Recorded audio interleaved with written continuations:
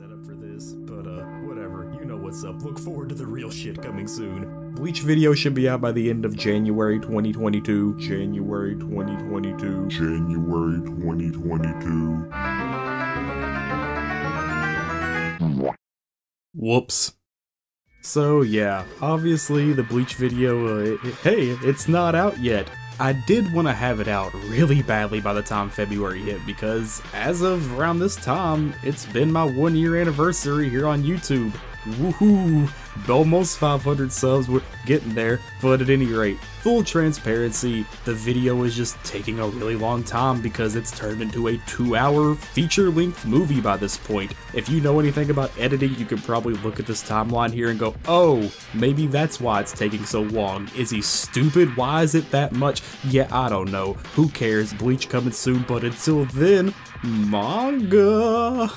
Starting off with something I've been waiting a little bit for Record of Ragnarok. So, around, I want to say this time last year, I started seeing scans of this pop up online, and I was like, whoa, hold up, look at that art. Why are all these gods sexy? But then also seeing the action and the combat and hearing that it had a really cool premise, I was already ready to jump on it. Then Viz swoops in and says, hey, we got physicals coming later in 2022, ju- just wait on it. So I waited on it. I'm gonna grab a couple more as they come out, and once I have like four or five, I'm gonna get in there finally.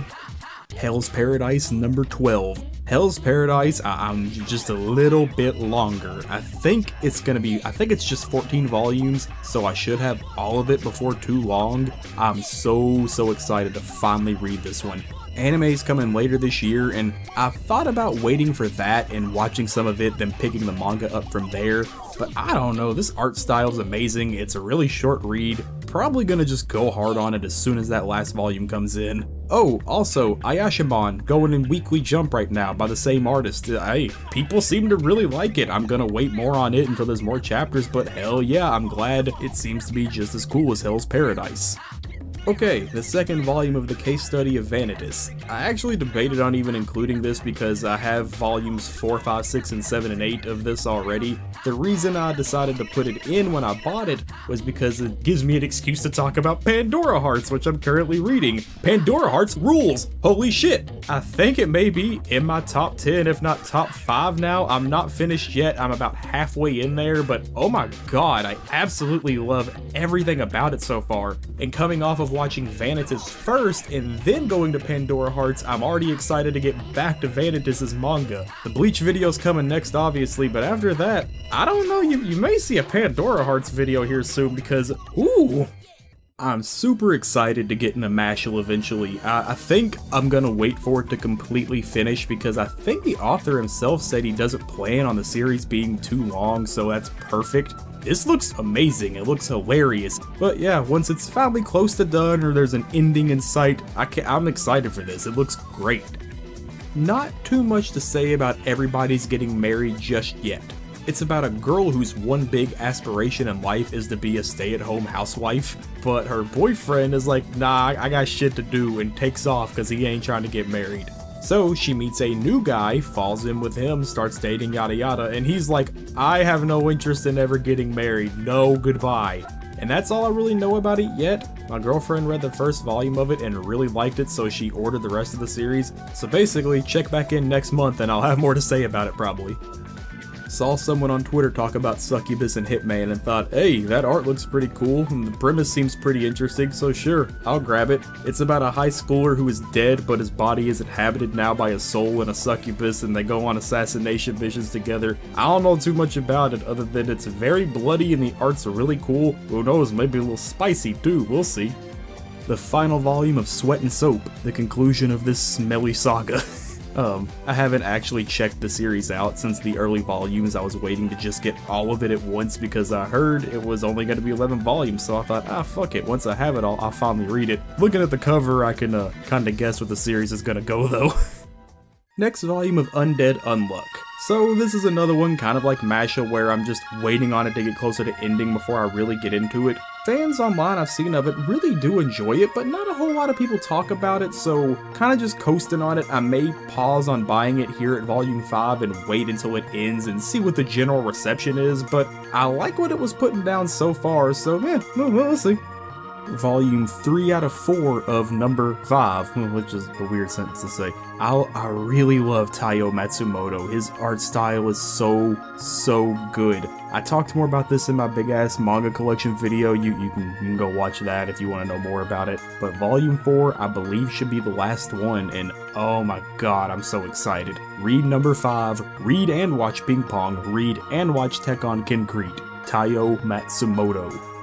I'm a dipshit. I meant to have Eniale and Dewiela here actually completely read before this video because it's just these three volumes, but that didn't pan out. Between the Bleach video, the Pandora Hearts reading, and just regular work, there just there just wasn't time for it. I'm sorry, I'll, I'll try next time. I was gravitated to it at Barnes & Noble by the covers and the art, and kind of subconsciously figured out, oh, this is Witch Hat Atelier's artist, isn't it? So that, that's why this is up here too. Witch Hat's really good, I plan to read more of it as soon as I have more volumes. This is just three volumes though, so if you like Witch Hat and want something else by that artist, check this out, seems pretty cool. Volume 5 of Wotakoi, Love is Hard for Otaku. I believe this may be the last volume now. I read the first one back when it first came out and absolutely loved it. It's just really sweet and I loved all four of the main characters and I think there may be more characters as the series gone on. It's just love in an office among otaku. It's a very simple concept, but I like the characters and where I work in an office, I can relate to it a little bit. I like it a lot. Volume 16 of Beastars. So last time I talked about the series was in my big manga collection video, and I feel like I was a little harsh to it. I was reading it monthly and was personally really let down by the ending, but as time's gone on a little bit, I've really mellowed out over it. I really love Beastars at the end of the day. I'm gonna keep buying the volumes, even though I've been having this conversation with my girlfriend. I personally think the best way to read Beastars may be online scans. I know some people are going to be like, what? You don't want to just support the physical volumes? And I mean, I got the whole shelf over here, obviously I am. Viz and their usual self didn't bother with the color pages at all for Beastars, and Itagaki is putting out a color page for this series like almost every other chapter. Really, if you've read Beastars, go check those color pages out. They're amazing, and I feel like the Viz volume's not really including those in any way is a fucking shame. I'm saving Blue Giant for myself. I read, I think, the first two chapters when I got that first volume of way back whenever it came out, and I was like, oh yeah, this right here is what I want. Buying every volume until it's all done, then I'm reading it in like three sittings. Following a boy discovering his love of music and jazz, this is great. If you're into Beck, you know, the story of Mongolian Chop Squad, I really do think you'll like this one too. God, these covers rule. I was able to find all of Devilman Grimoire off of eBay for a super great deal, and I don't know how common they are right now. Earlier last month, I read all of Devilman for the actual first time, the full story. Oh my god, Devilman's top 5. Go go read Devilman. Read it right now. Oh man, Devilman coming on this channel eventually because ooh, that's the good stuff. Grimoire is a Suedo reboot sequel type. I don't think it's a sequel, I think it's more of a reboot. But it was made years later, written by the original author Go Nagai, but drawn by somebody else. And from what I could tell by flipping through it, this seems really cool, so I'm excited to check this out because oh my god, Devilman. More of the Mashima goodness, baby. Zero number 14. I haven't actually read Eden Zero since about volume 6 or 7 when I caught up in English, I'm just kind of waiting until there's a bunch more of it to grab because who knows, it could be like Rave Master where there's not a whole lot, or like Fairy Tail where there's like 70 something fucking volumes. But from what I read, this one might be, I don't know, I really like Rave Master. I'm a big Rave Master fan, but Eden Zero might be my favorite. I don't know, the spaceship pretty cool though. Also, Mashima's horny level is unmatched.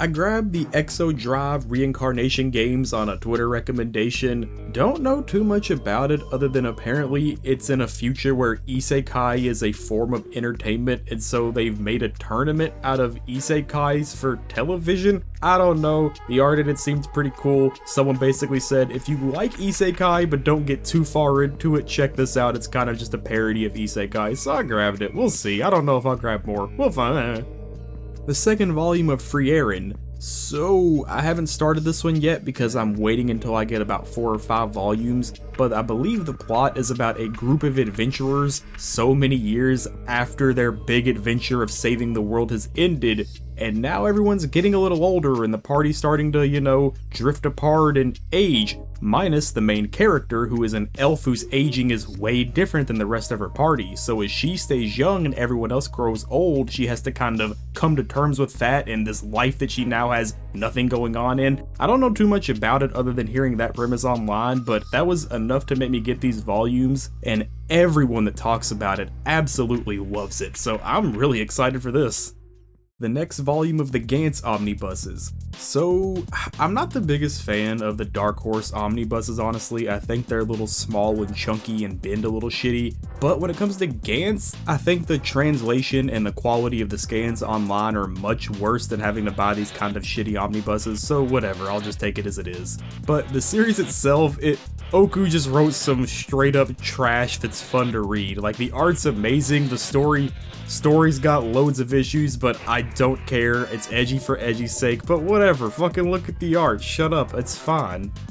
So I haven't got to read this yet, but Other Side Picnic really seems interesting. I believe it's based on a light novel about two girls who find a portal into another world and end up dealing with weird otherworld shit. You know, regular, typical Japanese light novel stuff, yada yada. The thing that really interests me after looking it up was apparently it's based on Roadside Picnic, the book that Stalker is based Get on. Out of here, Stalker. I fucking love Stalker and have been meaning to read Roadside Picnic for a long time. There's a lot to read if you can't fucking tell. But I really, really love Stalker, and seeing that this this may be based on that, well, the book that inspired that franchise, yeah, that was enough for me to immediately walk out with that. I'm excited as hell for this.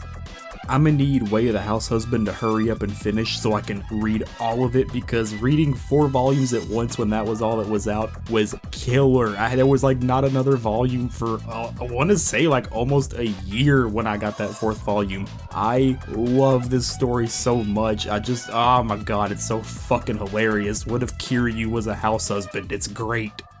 Happy Kaneko's Killer Life is about a girl named Kaneko who accidentally ends up becoming a hitman and is very good at it. The whole story is told in four panel, like little comic strips that are basically straight to the point jokes. Uh, if you'll notice the animals all around it, it's because there's constant animal puns in here. It's probably not for everyone, but it is really adorable, and it's in full color, which is the biggest bonus you can have all but one of the Rose of Versailles hardback covers. So earlier this month, uh, if you're on Twitter or if you're a manga collector, you probably saw it. Barnes & Noble had that half off sale on hardbacks. Man, did I score. We'll, we'll get into some more of those here shortly. Rose of Versailles, I believe, is one of, if not the most formative and classic shoujo manga ever, maybe? I actually really need to get into it because I think this is fucking history right here, and these volumes I got them half off, so perfect. I'm missing the last one.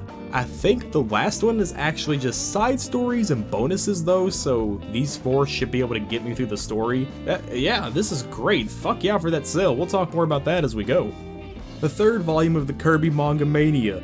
Yo, this shit is great. Every single story is just so much fun and filled with passion and love for Kirby. I, I, I don't I don't know if y'all are into Kirby. I love Kirby, so whatever. But there's that Kirby game coming in a few months. Oh my god, that shit looks great.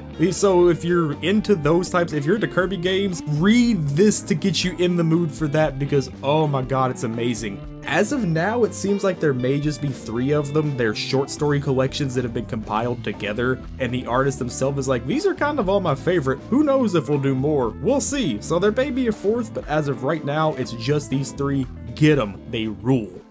Jitsu wa My Monster Secret. So I bought all of this within a month because I was reading it online and was like, oh man, I'm really enjoying this. I'll just keep reading the scans, you know, having a good time. Then I saw it actually had a physical release here that hasn't been reprinted in a minute. Made some moves real quick and have found all but just I think three volumes now.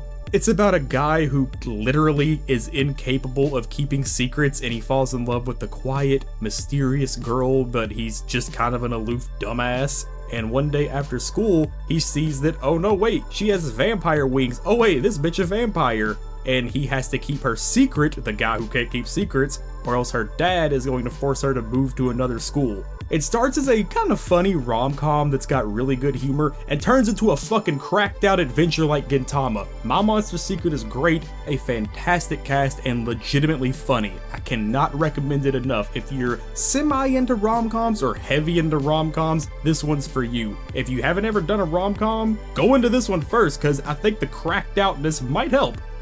Thanks to that Barnes & Noble sale, I was able to get these last two volumes of Hellsing for half off. Fuck yeah, bud. Hellsing is cool as fuck, man. I'm actually really excited to finally go through it all in these gigantic versions. So, one thing I've been wondering though is, does Hellsing have color art? Like, actual color pages of the manga? Because there's none in these big boys, and I was wondering, well, did they just not include them and still charge $50? Or was Hirano dying and not able to do the color pages because if you actually read it here in the notes, oh my god, he's constantly begging for an assistant and no one ever came to assist him, the poor man.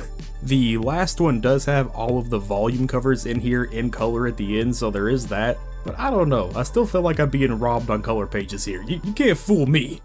Shintaro Kago's Super Dimensional Love Gun. So, this is not for everyone. I actually wouldn't recommend it to almost anyone. It's a very bizarre thing where the artist kind of enjoys drawing weird, fucked up things and brutal shit and gore, but putting it in comedic, bizarre situations. It really interested me and I grabbed to kind of see how I felt about it, but at the end of the day, it is just kind of gory for bloody gore bizarre sake, so I, I really wouldn't recommend it to most people, but I mean, if you if you of them freaks out there, hey, get in here. Just gonna do these two together, Cardcaptor Sakura and Chobits. So these are also part of that Barnes & Noble hardback sale, I grabbed whatever I could. But if you remember in my manga haul video from last month, the link down below, I actually am trying to give Clamp more of a chance because my whole big thing is I don't like reading unfinished series. Half of Clamp shit is just not finished, but there are some things that are, so I'm going to try and give those a chance, and Cardcaptor Sakura is one of them, and I, I don't know if Chobits is finished, was it? Uh, it was a hardback, so I grabbed it. Whatever, we'll see. So this is actually a sketchbook by Terada Katsuya, an artist I follow on Instagram and Twitter that I'm a real huge fan of. Not too much to really say about it other than I fucking love their art. Like, look, look at it. Look at it. Oh my god. I'll link their Instagram down below. You can go check them out on there. That's where they're most active. Good stuff. Also from the Barnes & Noble hardcover sale, the first volume of Saint Young Men. Don't really know too much about Saint Young Men other than it's just Buddha and Jesus hanging out and being good old buddies, but I think that may literally just be all the series is. Buddha and Jesus chilling, being the best of friends. Oh yeah, I'll throw this in here too because whatever. I got Super Mega Saves the Troops because yeah, it's fucking hilarious. I love Super Mega, go subscribe to them, they're good boys. And lastly, I'll end with this. I got the Quintessential Quintuplets box set for like, uh, 30 bucks off of Amazon, so hell yeah. I don't actually know too much about the series other than I was planning on getting into it when it was finished, which, is it finished? I don't, I think, maybe, I don't know. The fact that they may all just be coming out in these box sets, yeah, I'll just wait and grab all those and read it when it's done, fuck yeah. And hopefully I can find them for the same deal, because I ain't about to drop 75 on each.